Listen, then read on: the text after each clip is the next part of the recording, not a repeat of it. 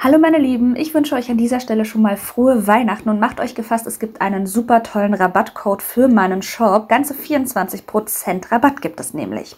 Seid also gespannt. Gespannt dürft ihr auch sein, denn ich gehe noch einmal das Polygel von Born Pretty durch, welches Soak-Off fähig sein soll. Ich habe es bis heute nicht geschafft, das Fazit zu Ende zu bringen, geschweige denn das zu testen. Ich habe jetzt hier einmal Tipps in der Press-On-Methode angebracht und zwar mit dem 10-in-1 Glue Gel von Born Pretty. Darauf gehe ich dann näher ein. Ich habe nämlich eine neue Technik ausprobiert und ähm, ja, das gibt es dann in einem folgenden Video von mir. Wer also neugierig ist, kann mir sehr gerne ein kostenloses Abo dalassen und das Glöckchen aktivieren, dann verpasst ihr nämlich keines meiner weiteren Videos. So schaut das Ganze einmal aus. Wer möchte, hat jetzt die Möglichkeit, die Tippübergänge, insofern ihr denn welche habt und keine speziellen Tipps nutzt, die eben keinen Übergang haben, könnt ihr dann einen Fräser nutzen und den Übergang ganz einfach wegfräsen. Wer dazu zu faul ist, der kann auch gerne das No-Lines aus meinem Shop ausprobieren. Das kaschiert nämlich Mini-Liftings und Pfeillinien und es verbindet auch den Übergang zwischen Tipp und Naturnagel. Wer außerdem zu faul ist anzumattieren, der kann den Sticky Ultra Bond Primer auf den unanmattierten Tipp auftragen und das bewirkt nämlich, dass folgende Produkte an dem Tipp trotzdem haften bleiben. Das Haftgel von Born Pretty, das Super Base Gel, das neue, das habe ich auch schon ausprobiert. Von der Haftung her ist es super. Es hat eine etwas dickviskosere Konsistenz. Dazu gibt es aber natürlich auch noch ein weiteres Fazit. Jetzt kommen wir einmal zu berühmt-berüchtigtem Soak-Off Polygel von Born Pretty. Zur Verarbeitung kann ich sagen, es lässt sich sehr gut verarbeiten. Die Konsistenz ist vielleicht etwas dicker, als es man vielleicht gewohnt ist. Zum Beispiel im Vergleich das Polygel oder Acrylgel aus meinem Shop ist etwas weicher. Da benötigt man nicht ganz so viel Cleaner zum Verarbeiten. Bei dem von Born Pretty schon etwas mehr Cleaner, damit es nicht kleben bleibt. Nichtsdestotrotz finde ich die Verarbeitung wirklich super. Ich persönlich komme damit sehr gut zurecht. Es härtet auch wirklich sehr gut aus. Es härtet härtet schnell aus und es ist auch pinchbar. Das heißt, ihr könnt es zusammendrücken. Falls ihr jetzt nicht wisst, was pinchen bedeutet, schaut da gerne mal in meine weiteren Videos rein. Außerdem ist es für alle Modellagetechniken geeignet. Das heißt, ihr könnt eine Naturnagelverstärkung machen, über Schablone verlängern, Press-Ons arbeiten, mit Dual-Förmchen arbeiten. Also ich habe alles schon ausprobiert und die Haftung ist wirklich gut, beziehungsweise zwecks Haftung solltet ihr schon ein Haftmittel verwenden, einen Primer oder auch ein Haftgel. Befallen lässt es sich auch mega gut, also es ist nicht irgendwie sehr stark zu befeilen, es lässt sich einfach befeilen und wenn ihr sowieso mit Polygel ordentlich arbeitet, habt ihr sowieso viel, viel weniger Feilarbeit, als es eventuell bei klassischen Gelen der Fall ist.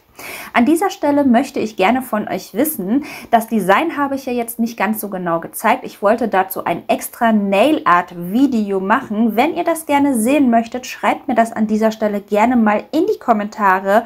Dann drehe ich dazu gerne ein Video für euch ab. Jetzt kommen wir aber zur Soak-Off-Fähigkeit. Dazu habe ich meinen Daumennagel einmal mit dem Polygel bestückt. Zunächst habe ich als Haftprodukt den Primer aufgetragen dann habe ich eben diesen Glitzerton verwendet, den ich wunderschön finde. Das Polygel gibt es in verschiedenen Farben. Und ja, auch hier bei der Naturnagelverstärkung ließ es sich super gut verarbeiten, auch mit meiner schwachen Hand. Ich arbeite jetzt hier gerade mit links, ich bin Rechtshänderin und auch das hat wirklich gut geklappt. Zur Soak-Off-Fähigkeit. Wie bei Soak-Off üblich, mattiere ich den Nagel erstmal an. Ihr müsst also die Schicht erstmal aufbrechen, damit das Soak-Off Produkt, welches ihr verwenden müsst, eindringen kann.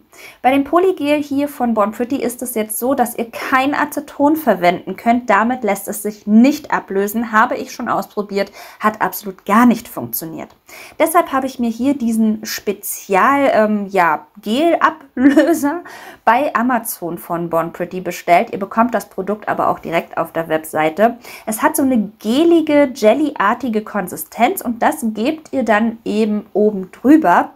Achtet aber darauf, dass ihr nur eine relativ dünne Schicht habt, weil sonst müsst ihr den Prozess einfach viel zu oft wiederholen.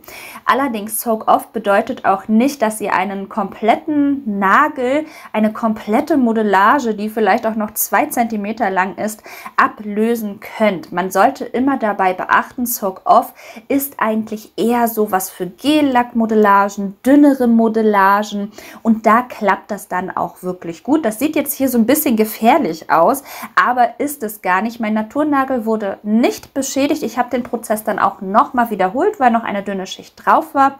Und dann habe ich einfach ein klares Gel mal drüber gegeben, um euch zu zeigen, dass der Naturnagel nicht beschädigt wurde und kerngesund ist. Meine Lieben, mein Fazit zu dem Produkt ist, es lässt sich ablösen. Ich persönlich finde es allerdings etwas unsinnig bei Polygel, es sei denn, ihr macht halt nur so kurze Modellagen oder Naturnagelverstärkungen und es ist eben gewünscht, dass ihr das Produkt vielleicht ablöst, immer mal wieder, wenn ihr eben eine Neuanlage arbeiten möchtet. Dazu ist es vielleicht ganz praktisch. Schreibt ihr mir jetzt auch gerne mal in die Kommentare, was ihr zu dem Soak of Polygel sagt. Habt ihr es vielleicht selbst schon ausprobiert? Würde mich auf jeden Fall interessieren. Meine Lieben, wir sind am Ende des Videos angekommen und ich würde sagen, wir sehen uns am Mittwoch wieder. Ich würde mich auf jeden Fall freuen. Bedanke mich ganz herzlich fürs Zuschauen und wünsche euch noch wundervolle Feiertage. Bis bald, ihr Lieben. Ciao!